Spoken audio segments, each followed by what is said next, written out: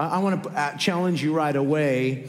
Um, if, if, if you left definitely changed today, healed, touch, and ministered to, how would, how would your response be right now? What would your attitude be right now? What would your expression be right now? Then, then I want you to think that way because that's, that's the merciful Jesus that you serve today.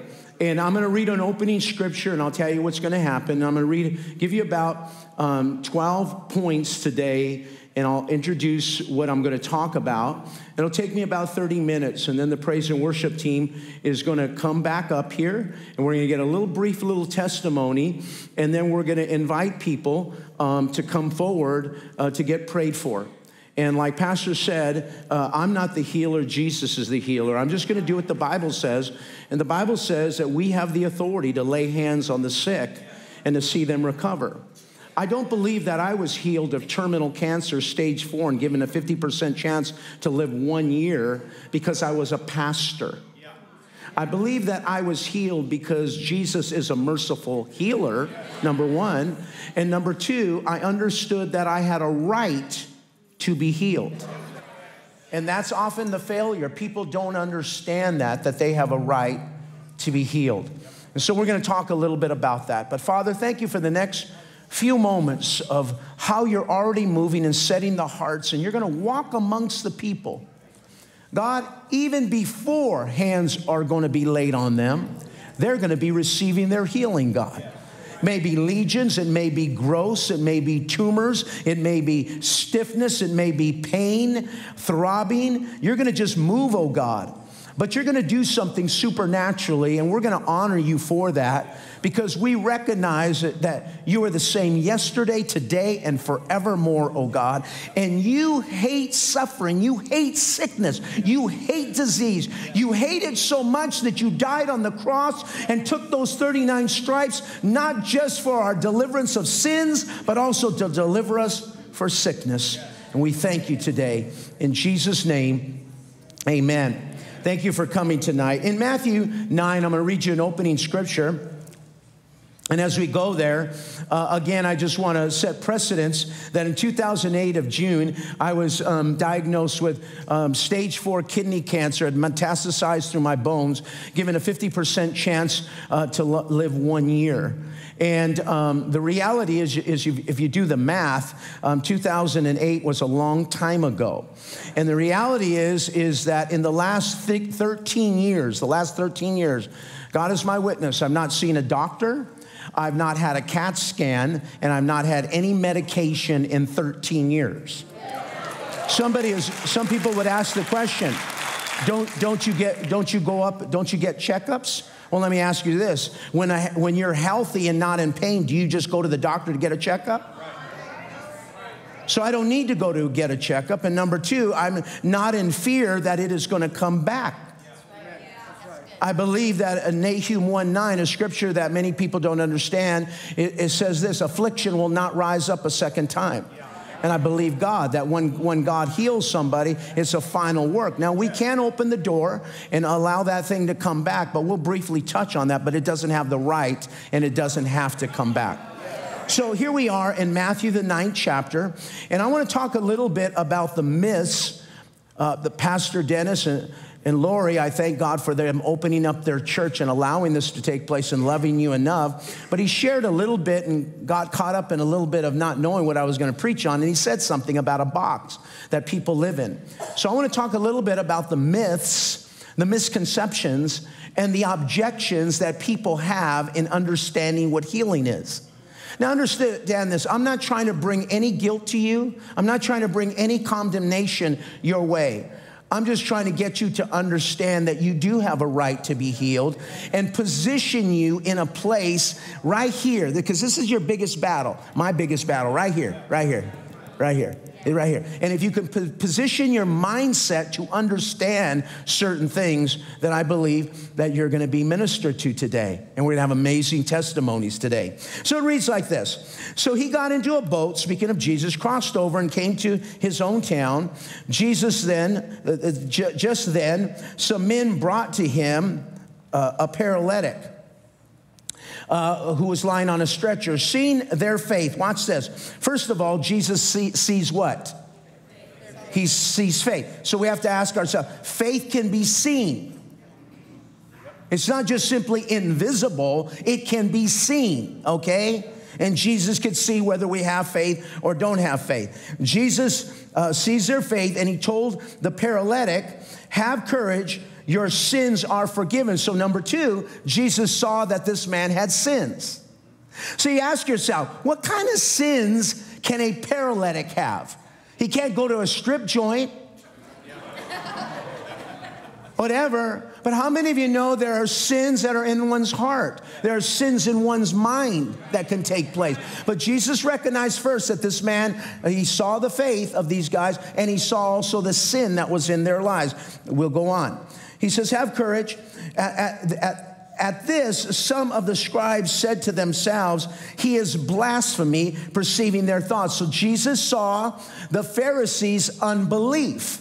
So he sees faith, he could see sin, and he saw unbelief. Jesus said, Why are you thinking evil things in your hearts? For which is easier? Keyword easier. What is easier to say, Your sins are forgiven, or to say, Get up and walk or be healed? But some that, but some that you may know that the Son of Man, so that you can know today that the Son of Man has authority on earth to forgive sins, he told the paralytic, Get up, take up your stretcher, go home. So he got up and he went home. The question here is this Is it harder for Jesus to do one thing versus another? See, back then during this time, people believed that Jesus could heal bodies. Their struggle was not that Jesus couldn't heal, their struggle was could Jesus forgive sins? Because when Jesus said, I forgive sins, he made himself to be God. That's what made these Pharisees so mad, these religious leaders, because they said that's blasphemy. Only God can forgive sins. Fast forward 2,000 years to where we're at today. We do not have a problem that Jesus can forgive our sins. We have a problem that Jesus can heal us. Back then it was opposite. Oh, he can heal. He can't forgive sins. Today we say, oh, he can forgive sins. He just can't heal. So, with that in mind, I want to briefly go through some objections or myths to break down some things to set our minds free so that we could be in a position to receive healing today. Healing, number one, healing ended, people believe, so many people believe that healing ended with Jesus and the disciples' ministry, and it's not for today. Well, that's a lie. Because the Bible says in Malachi, Jesus is the same yesterday, today, and forevermore. And that's what the Bible says. Or excuse me, Malachi says, I am the Lord and I change not. And then in Hebrews, it says, Jesus is the same yesterday, today, and forevermore. So if it was good enough and it was approbable enough and his power was released then, did that generation need it more than our generation? Because here's what you'll read another scripture that says God is not a respecter of persons. He didn't love that generation more than he loves our generation today. The second thing that people struggle with healing is not the will of God, and there's no provision made available for that. Well, if you study the Bible, there are more than 139 verses in the Bible that direct and relate to healing. So, why did he write so much in his Bible about healing if it's not for us today and it's not his will? You have to have fa- favorite healing scriptures. I had favorite healing scriptures. I'll share a little bit later on a little book that I relied on or, or how I wrote out healing scriptures. But one of my favorite ones is Jeremiah 30, 17. I'll restore to your health and heal your wounds.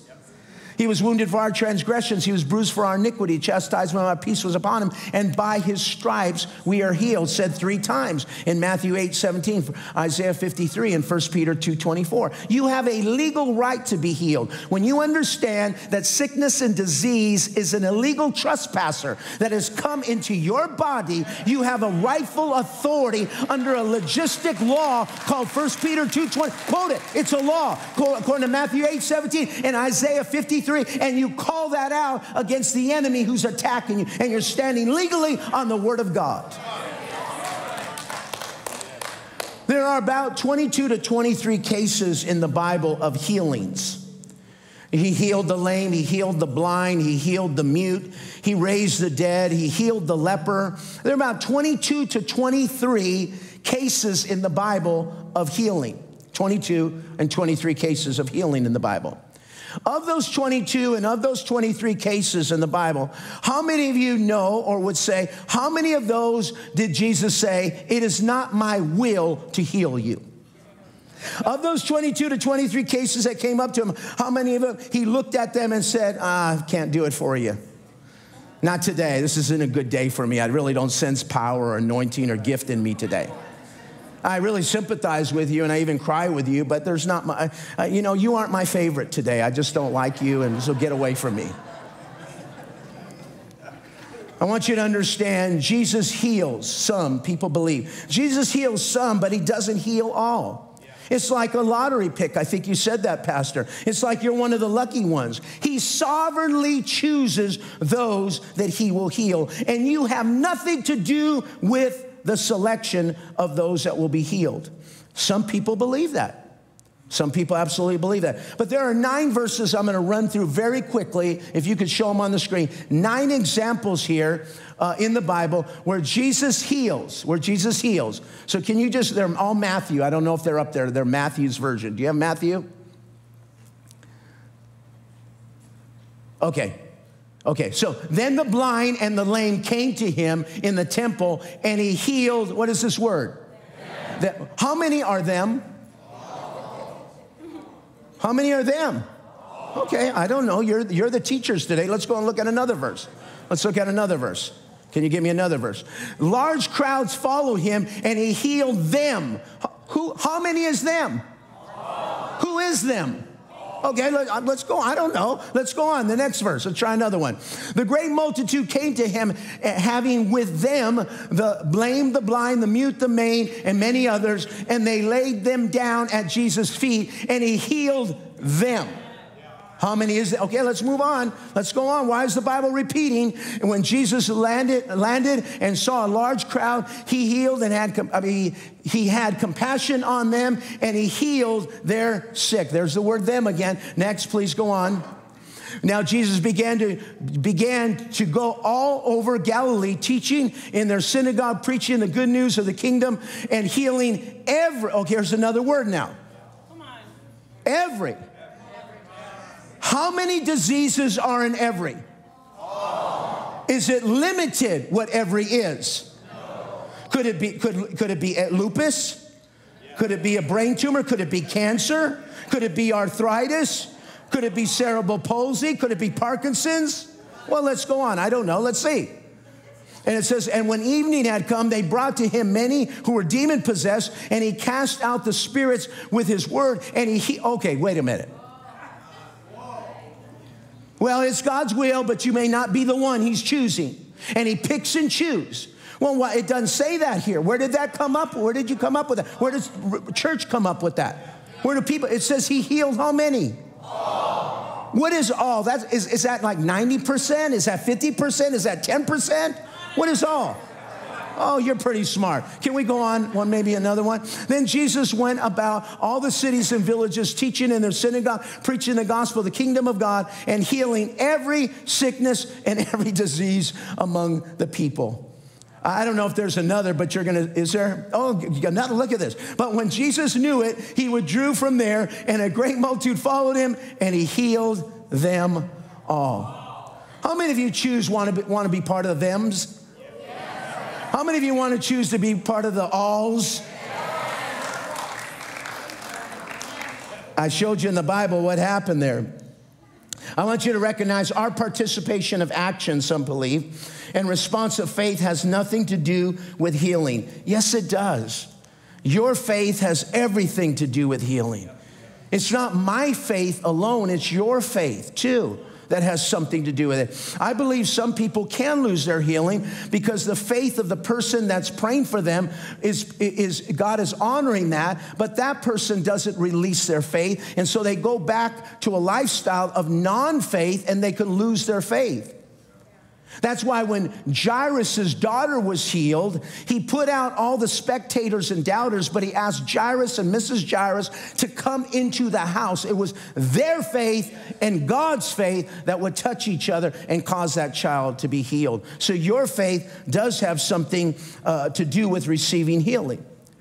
Uh, of again, the 22 to 23 uh, cases of healing. Here's something to understand 78% of those healing required something of the individual where only 22% of the healings were done sovereignly, which means they had nothing to do with the healing. For an example, he, Jesus healed Malchus's ear when Peter cut it off. He didn't look at Malchus and say, Do you believe that I'm your personal Lord and Savior? Do you believe that I, you, do you have faith for me to heal you? I need you to confess your sins before me and then I'll heal you. No, he just, he just healed him. Peter's mother in law, he didn't ask her anything when she had the fever, he just healed her. What I'm trying to say is, is that you go to the other side of 78% of people that were healed, you will see the woman with the issue of blood used her faith and pressed through the crowd and touched the hem of his garment. Blind Bartimaeus kept shouting out when everybody told him to shut up, Son of David, have mercy upon me, heal me. The, poor, the four friends with the paralytic that we read had to break through the roof when the window was closed and the door was closed, and a persistence to get to Jesus to see uh, faith. When the lepers were healed, he said, Go show yourself to a priest and offer up a gift. So your faith has something to do with it. Healing manifestations are always instant, so you'll know if you got it or not. No, that's not true. The Bible says we'll lay hands on the sick and see them recover. And the blind man from Bethsaida, Jesus spit and he laid his hands on him and he asked him if he saw. And he said, I, I, I, see, I see, but it's very, very blurry. It's not complete. And Jesus laid his hands on him a second time, which is indicating a process that takes place sometimes and a recovery of time that takes place sometime. But people get so discouraged when it sometimes doesn't happen instantly. It may tonight and it may not happen, but I'm going to believe that everybody's going to get healed. Jesus can use different things and methods and paths to bring about your healing. Absolutely true. He can. Absolutely. I'm going to turn to a couple scriptures. I'm going to ask them to help me. Isaiah, if you could turn to the Isaiah 38 scripture. It said, Now Isaiah had said, Let them take a lump of figs and apply it as a poultice on the boil, and he shall recover. The prophet Isaiah had come to King Hezekiah and said, Set your house in order. You have a fatal terminal disease and you are going to die. He repented, cried out. He was, God was merciful, and he came back and he told him, You're gonna live and you're gonna live 15 more years. But after that, he gave him an antidote. He gave him a remedy to deal with this lump, this lesion, this bump, this thing that was terminal within him. He told him to go get figs. So there are many methods in which God can use to heal somebody. He can use surgery, he could use medication, he could use natural remedies, he could use sleep, exercise, diet, communion, confession of God's word, scripture. He could use rebuking and casting down imaginations, rebuking the enemy, but all those things are amazing. Proverbs 18:9, this scripture blew me away during my during the time of affliction because it read this way. I'm only going to read the, the B verse here. And he who does not use his endeavors to heal himself is a brother to him who commits suicide. See, when you say, I'm only going to do this and I'm not going to do that, then you might be, he's saying, committing suicide. Take advantage of every endeavor that God makes available to you. Take stewardship over your health. Take responsibility to do what God asks you to do rather than limiting and saying, No, I'm stubborn and I'm not going to do it that way. We're moving really good through this. After healing, nothing is required of you to change or be different so you can return back to your bad habits. No, that, that's absolutely not true. When he healed that blind man and took him out of Bethsaida, he told him, Go to your back to your house, but don't go back to Bethsaida, the town. Something in Bethsaida would rob him uh, of, of his healing.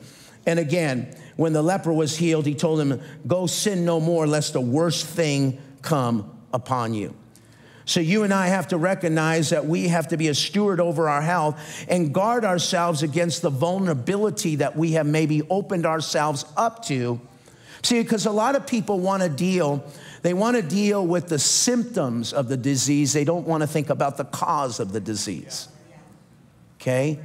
And when God may reveal to you uh, the cause of how this happened, but many people, I just want this gone. But if you don't have a change in lifestyle, and maybe your lifestyle created an open door where the enemy could come in and steal your health, then the enemy's gonna keep coming back in that area. So you have to understand how to steward the health. And I had to learn that lesson. I had to learn that lesson about how uh, worry and stress and a workaholic and internalizing everything began to break down my immune system. My diet was shot, it was poor. I didn't drink water. I hardly ate any vegetables, hardly any fruit. A lot of, ate a lot of processed foods. So you add all this mixture of bad diet and stress and doesn't sleep well and overworks, and it will run down your immune system and it will create an open door for the enemy to attack. And that's the level of understanding I needed. If I got instantly healing, healed, I would not have understood that revelation. But it took me a process of time, about four years before I felt like I was 100% back to my strength level before the affliction took place. And in that process, it was peeling an onion and God revealing the toxic lifestyle that I have. I, I was a Christian and I was a pastor, but I had some imbalances. Is that okay to say that? I just had some imbalances that, that were in my life taking place. The more you suffer, beg, cry, pray, yell, is what Jesus will respond to and qualify you for your healing. No, that's absolutely untrue. Isaiah 56 and verse number 9, one of my favorite verses says, says this Isaiah 56, 56 says, The very day I call for help, the tide of the battle turns. This one thing I know God is for me. The very moment you pray and ask God for your healing, God goes to work things be, begin to, to turn. It's just you have to, again, I told you, one of the biggest things that we fight against is not a physical battle. We think it's a physical battle, sickness and disease, ailment, illness, uh, diagnosis, prognosis, but the biggest thing is right here. And I believe that people lose hope. That's why the Bible says the soul, the mind, uh, it's an anchor. It's an anchor to you. It keeps you from drifting. And that's why the scriptures are so important to renew your mind and hear the word of God to build your faith in that particular level. The enemy's wicked. He'll bombard your mind. He'll throw wicked thoughts. He'll show you, I've got him. He'll show you a picture of you in the hospice. He'll give you a picture of your family laying over your dead body. He'll show you the funeral. He'll just lie to you and tell you, just give up, quit. Who do you think you are receiving your healing? You know, nobody gets healing Nobody receives it. This thing is terminal. And all those are lies, and you've got to be able to take authority over those thoughts because you heard something. You heard what the doctor said. You saw something with these eyes. You saw the CAT scan. And you have to learn how to deprogram. That's not easy. I got to deprogram what this thing doesn't want me to let go of. And the only way to do it is not self will and self power, it's the power found in God's word that I've got to meditate in, and I've got to read that as the final authority over my life. Thank God for the doctor, but the doctor is not my final authority.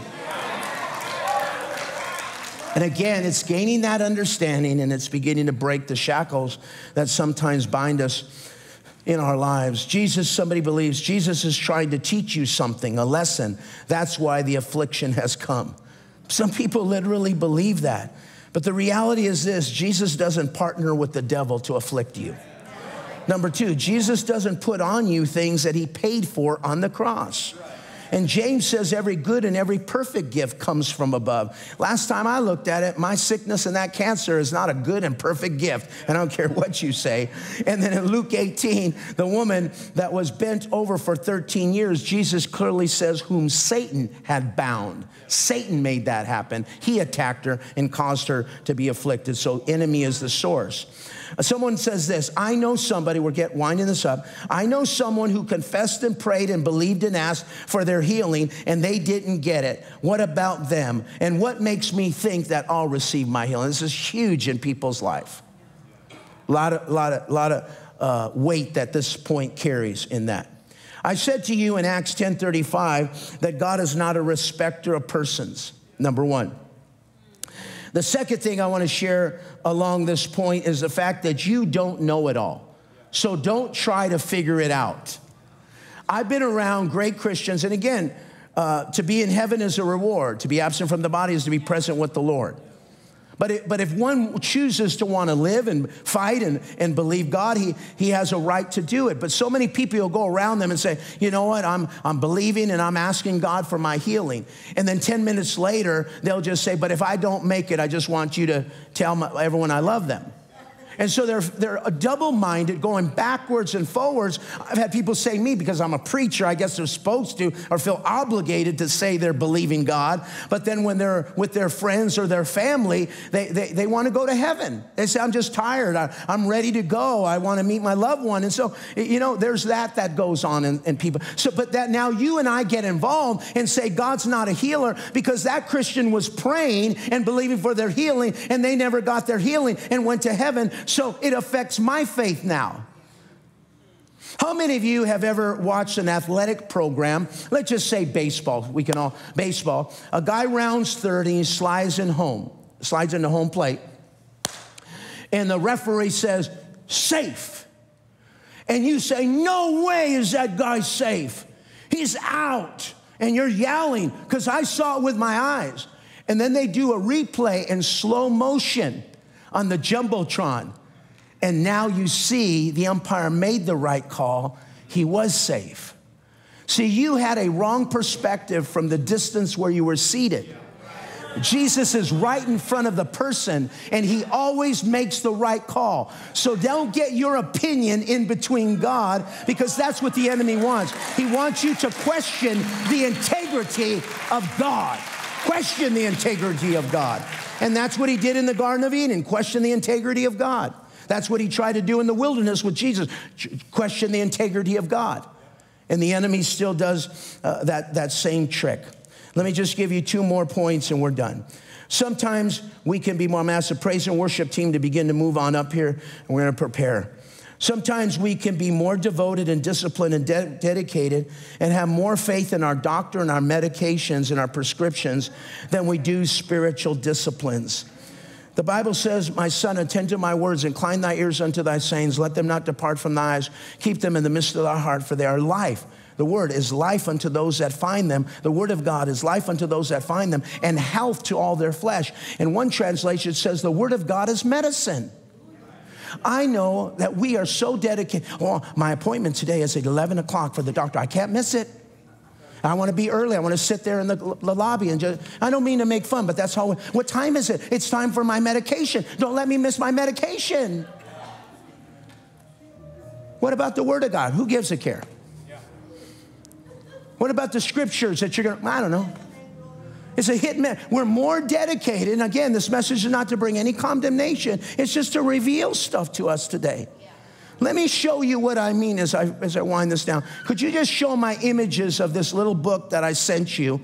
There's pictures of a book, okay? So here's what happened. Days after I was diagnosed, I was just like everyone else. I was 47 years old. I'd run seven marathons in the last two years. I'd run the, the, the, Boston Marathon and qualified for the most prestigious marathon on the planet. I'd run a marathon three months before I walked into that doctor's office. There's no way that I have terminal cancer. But that's what I heard. And they told me how long I would live. And they looked at me and said this to me do not make any long term decisions. I don't even know what you mean. I can't buy a dog because I'm not going to be around long enough to see the dog. I can't buy a car. I can't buy. That's what they were telling me. You can't buy a house. You can't buy no long term commitment because you're not going to be around. You're not going to do that. I was overwhelmed. My wife was right there. I cried. From the moment I walked out of that doctor's office to my car, we could not go home because I couldn't stop crying. Because not only was it sorrow, it was fear. I was overwhelmed. My life is going to end at 47 years old. I'm not going to see my children married. I'm not going to see my grandchildren, my great grandchildren, and the list could go on. So I said, in the next couple days, I, what do I do now? Where, where, where, do I go from here? And I felt like the God said, I, I want you to read every scripture in the Bible concerning healing. And that's going to be your medicine. And as dedicated as you would be to natural, that's what I expect of you to be dedicated. In four years, in four years, in less than this palm hand, did I miss reading 175 scriptures that would take me 20 minutes to read and then 10 minutes I pray over my body from the crown of my head to the soles of my feet. I go something like this My hair is healed, my scalp is healed, my eyebrows are healed, my skin is healed, my tongue is healed, my nose is healed, my lips are healed, my gums are healed, my teeth are. I just work through my whole body. That would take me another 10 minutes to do that. But I did it for four years. But here's what happened. I was reading this book by John Hagee. It doesn't matter what the book is, when God told me to write out all these scriptures. I just, it, I didn't go get a notepad. I didn't, I just got this book and I just started writing the scriptures that I was thinking about. So I just, who cares? But look at how tattered it is because I lived in this book. I cried over this book. I wept over this book.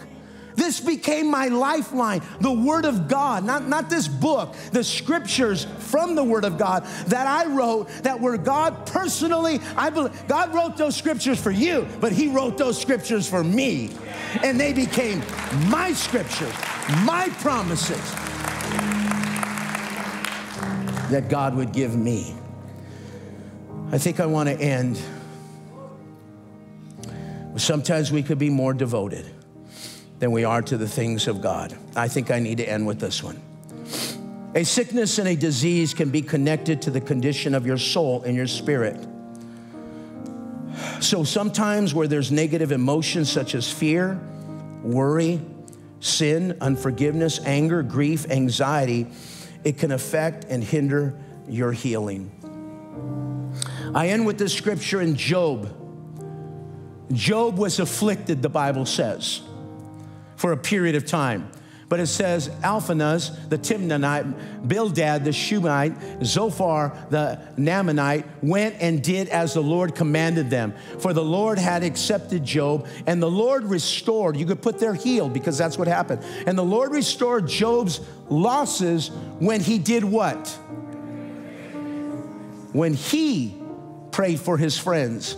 And if you read the story, they backstabbed him, they betrayed on him, they lied on him, and there was a place in his life that he was filled with bitterness and unforgiveness and anger. And God could not heal him until he let go of that. And when he prayed forgiveness for his friends or toward his friends, God said, Now I can heal you. And one of the biggest things that's stopping people is a negative emotion that you're carrying anger towards somebody unresolved issues with your daddy, forgiveness issues, worry, anxiety, grief, you're still sorrowing and stressing over a loss and pain in your life. I end with this story. In the early 1900s, there was a man traveling from Europe to America. He was waiting to get on the passenger ship that would sail him from Europe to America. The passenger ship overbooked and they apologized. And they said to him, We've overbooked on the passenger ship, but I want you to recognize we own a cruise ship line. And we are going to put you on the cruise ship line. You'll still get to America in the same time. You'll just travel on a cruise ship.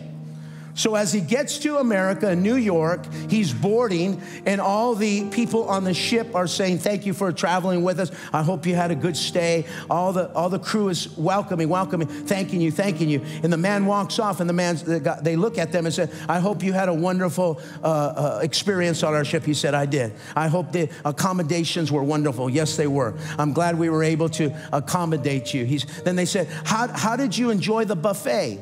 He said, "What buffet?" They said, he said, How did you enjoy the pool? He said, What pool? How did you enjoy the gymnasium? What gymnasium? How did you enjoy the entertainment?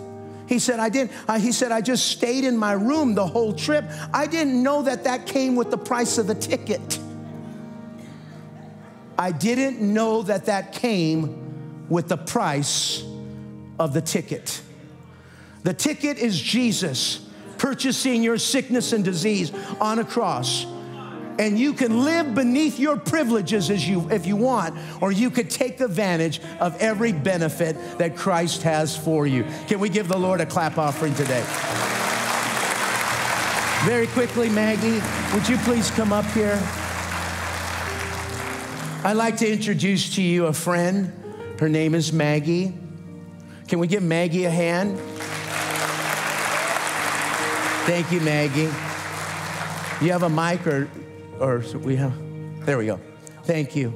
Thank you so much. We want to hear your voice, Maggie. So, um, Maggie, uh, a year ago, this time when we had a healing service, you were here. Can you tell us where you were a year ago in your life? Yes. It's on. It's on. It's on. Okay. Um, yeah, a year ago, um, exactly a year ago. It was January 8th on the Sunday. Um, I had gone through, I honestly, I told Pastor Deeg, I didn't know where to start. But a, a year ago last, um, on this, the 8th of January, I was invited by a friend, a very dear friend, to come to a healing service. But where I was at was in a place of struggling um, with an addiction to alcohol. I was born and raised a Christian. I've lived a Christian life my whole life. Jesus has always been with me. But at that, through the years, through my, I could start from my dad dying at um, getting cancer at age 17. Uh, he died when I was 19. Um, hardships like that. My sister was killed in a tragic accident at age 44. Um, I had a number of sequences. So things build up. We as Christians, we all go through stuff just because we're Christians, we're, we go through stuff too. But we have the love of Jesus in us and we have um, the hope of Christ. And I've always had that. But when I came uh, a year ago, I had all that faith. I'd been struggling myself, knew that I had God, me and God could do this. Um, but I continued to go through a struggle with it. And coming here, even though I could say the prayer of faith, and believe that Jesus would heal me, there was something special in this in these walls last year. And um, that's the power of Jesus at his timing. I think he wanted me to go through a few things, maybe to be um, more of an example or to be able to have a witness to know that God can do mighty and great things. Um, and he showed that to me. But the great thing is, you say the prayer of faith, and I believe that. But then after that, it is going out and thanking Him with every prayer. And every prayer following is a prayer of gratitude and thankfulness and believing, because I believed in that prayer. From that experience of what Pastor Diego shared, it was your words that you spoke. It was obviously anointed and meant something to me, but I was surrounded by people that all um, were affected in a different way, and we all have different things as you listed off um, I was healed from two things. I also had a disease that was supposed to be lifelong. Um, it was psoriatic arthritis. It was um, moderate to severe. It was supposed to be for my whole life. I went through a, hard time with it. I was covered head to toe with um, skin, I couldn't leave the house kind of thing. But that's where it was an obvious physical healing. And I still am healed from that and will continue. And I know Jesus did it that night. So I'm so thankful. So thankful. Thank you. Let's give a hand for Maggie. I believe that God can do the same thing for you. God's not a respecter of persons. And whether you need to be healed in your spirit, your mind, or your body, I believe God will do that. And whether it is arthritis or a drug addiction or alcoholism, it doesn't matter to God. He's a merciful healer. So here's what we're going to do. They're going to play just a little bit and sing just a little bit to prepare our hearts to receive. And now I'm going to invite people who, who genuinely need a healing in their bodies. Uh, I believe the ushers are going to help us. I believe they're going to go in from the overflow room or, if, or whatever to bring them forward. Just follow the direction of the ushers. Again, I, I don't have any power. Uh, I, I'm just going to do what the Bible tells me to do to lay hands on the sick. And I believe that the point of contact where faith is released, something is going to happen. Now, for some of you, you may feel something. For some of you, there may be a reaction to something. For some of you, you if you can, you'll begin to check yourself and see if something has been taken care of. For some of you, you will sleep like a baby tonight and wake up and just know that I know that I know that I am healed and you will continue to do what you're doing, but you'll go back to the doctor and they'll say, What the heck happened to you? We can't find anything because eventually I went and got a last CAT scan and they said, Where is it all? Where is it? And it was all gone. And that's why I never went back because the CAT scan had revealed it and uh, it, it was a true miracle. And that will happen for you today. So I'm just going to ask wherever you are to begin to move forward today. And I am just simply, if they, I can, I didn't ask for some, get some anointing oil because the Bible says that lay hands, the prayer of faith, as we anoint with oil, will save the sick. I'm just going to touch you. That's all I'm going to do. I'm just going to touch you. I'm going to pray a general prayer over everybody over everybody, and then I'm going to touch you. And I believe the power of God will hit that sickness and hit that disease and break the spirit of infirmity off of you today. And you're going to leave this place healed and delivered. And that affliction will not come back again in the name of Jesus. And tumors and growths and lesions will begin to wither away and they will begin to shrink and they will begin to dissipate. And things that are not working are going to begin to work in your body in the name of Jesus.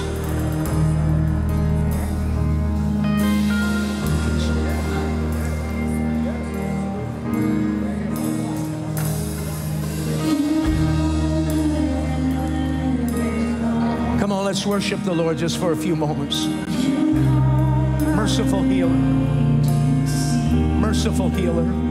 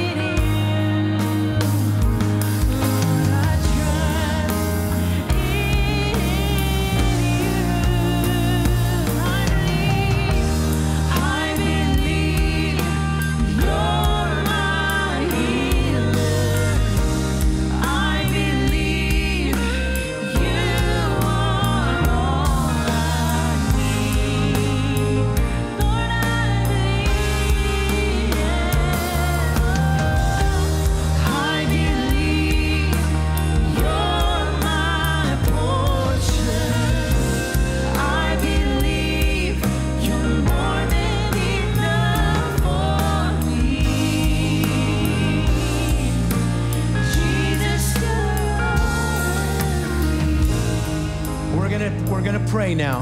And the moment I I touch you, uh, you just believe that God is healing you, and then you go, go back to your seat to allow the next row of people to come forward. Can you do that? We're gonna, I'm going to pray. Then once I touch you, you're going to thank God. You're going to go back thanking God for your healing. That's what you're going to say, and that's what you'll say for the next few days. Thank you, Jesus, for healing me. Thank you, Jesus, I received my healing. Thank you, Lord, for my healing. And then allow the next row of people to come forward. Father, I bring your people before you now in the name of Jesus. I don't know the condition. I don't know the symptoms. I don't know the diagnosis nor the prognosis, but you do, God. This may have caught them unexpectedly, but it did not catch you unexpectedly. Because 2,000 years ago, you paid the price for them to be healed today. So we have and they have a right to be healed. So I remind the devil of what the word says. And the word is a legal law says that you are a trespasser. So you foul tormented disease, you foul oppressive sickness, you spirit of infirmity, we rebuke you now. We negate your power and we terminate and extinguish. You are a trespasser, you are illegal, and you are now caught, and you must leave in the name of Jesus. And I command you now from the crown of your head to the soles of your feet, spirit, soul, and body to be healed, to be made whole, and to be delivered by the power that's in the name of Jesus. Be healed. Receive your healing. Be healed. Receive your healing. In Jesus' name, be healed. Be healed. In the name of Jesus. We count, we speak healing over you. We speak life to you now. Be healed in the name of Jesus. Be healed. Receive your healing. Be healed in Jesus' name. Be healed in Jesus' name. God, I thank you for healing. Everybody at this altar, God. Thank you for the testimonies. Thank you for the stories, God. Thank you, Lord. They're going to live and not die and declare the glory of the Lord, Lord. I thank you for that now. In the name of Jesus, I thank you for touching everyone at this altar, God. In Jesus' name, be healed. In Jesus' name.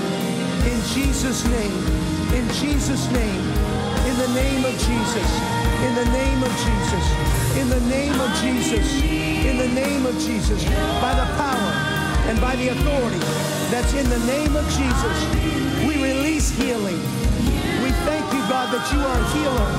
The life of God flows in these bodies now, God, eradicating sickness and disease in Jesus' name.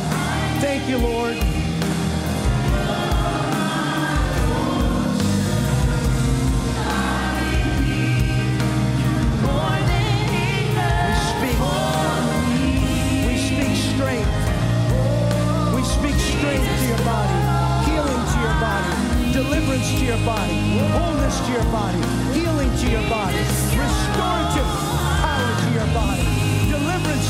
Body, life to your body, healing to your body, wholeness to your body, miracles, signs, and wonders of God's power now touching you and ministering to you in Jesus' name, in Jesus' name, in Jesus' name. Thank you, Lord. Thank you, Lord. Lord,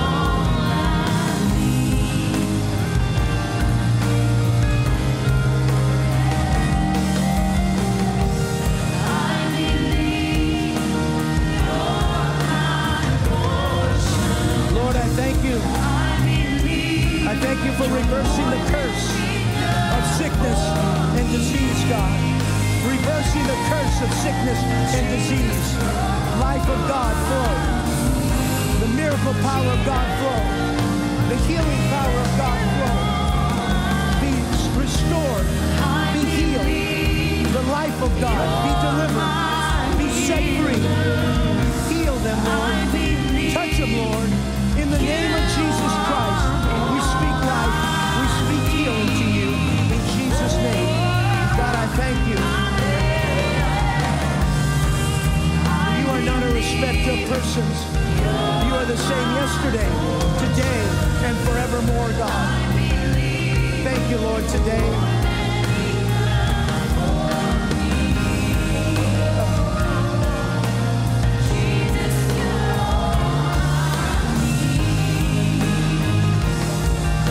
Lord, thank you. Thank you for paying the price for these people's healing now. Purchased it, Lord. You paid for it, God. Thank you, Lord. You took it upon yourself. You took all the suffering, all the sickness, all the disease, all the pain on you, oh God, by the stripes of Jesus, by the stripes of Jesus, by the stripes of Jesus, by the stripes of Jesus. We thank you, Lord, for healing. You, Father. Your healing touch, your healing touch. Let it flow, God. Let your power flow, God. Let your glory flow. Thank you, Lord. Thank you, Lord. Let it flow into their bodies now, Lord. Every cell, every tissue, every organ, every blood vessel, every bone, every muscle, DNA, the cells of your body, your immune system.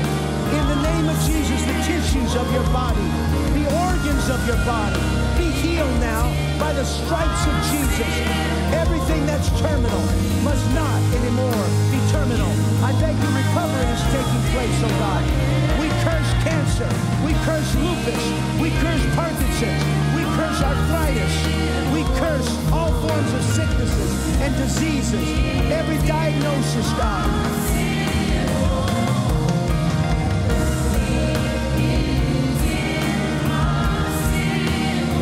Thank you, Lord. Thank you, Lord. By Jesus' stripes, by Jesus' stripes, by Jesus' stripes, by Jesus' stripes, by the stripes of Jesus, by the stripes of Jesus, by the stripes of Jesus, by the stripes of Jesus, by the stripes of Jesus, by Jesus' stripes, by the stripes of Jesus, we receive our healing. We thank God that He's a healer. He is a merciful healer. His power is the same. It has not changed. Thank you, Lord, today.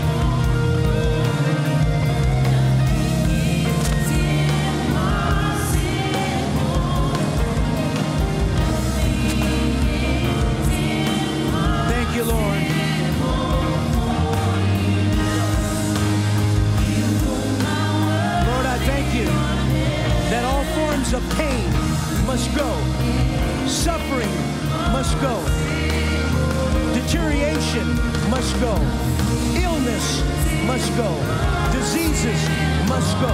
In the name of Jesus, we speak life to you, wholeness to you, and deliverance to you. He's a merciful healer. He's a loving healer. He's a kind healer. He's a good healer. He's a tender healer. He's a compassionate healer. And his name is Jesus. Thank you, Lord, for your power. Thank you for your power, Lord. Thank you for your glory. Thank you for your anointing. Thank you for your compassion. Thank you for your sympathy, your empathy, and your love. Right now, in Jesus' name,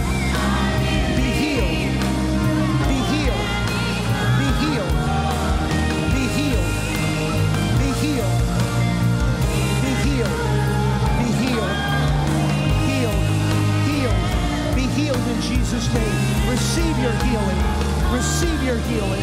Receive the healing of Jesus. Receive the healing of Jesus. Receive the healing of Jesus. Receive the healing of Jesus. Receive the healing. Receive the healing of Jesus Christ.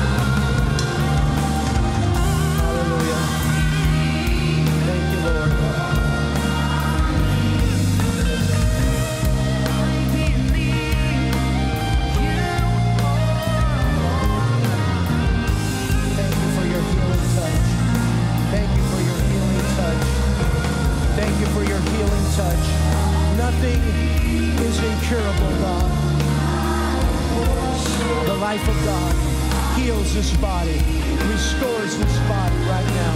In Jesus' name. Renew their strength, God. Renew their strength, God. Renew their youth, oh God. Thank you right now in Jesus' name. In the name of Jesus, we believe they are healed, and we thank you for their healing now. In Jesus' name.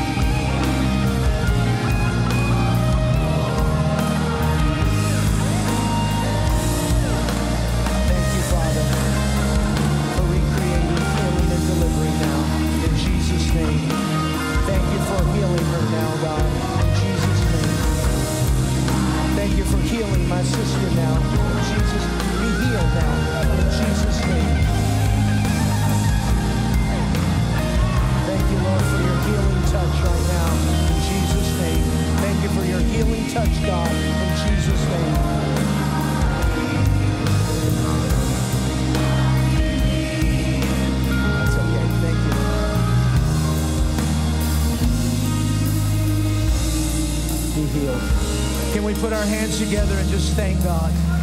Thank God. Thank God. Thank God. Thank God. I believe with all my heart the testimonies and the stories will start being told and will start being heard. And you're going to experience tremendous victory in your health. And again, I remind you that when you leave this place, all that you need to be saying is, Lord, thank you for my healing. That's your commission, that's your work, that's your job. Just be saying, Lord, I thank you for my healing. Amen. Come on, let's thank him one more time.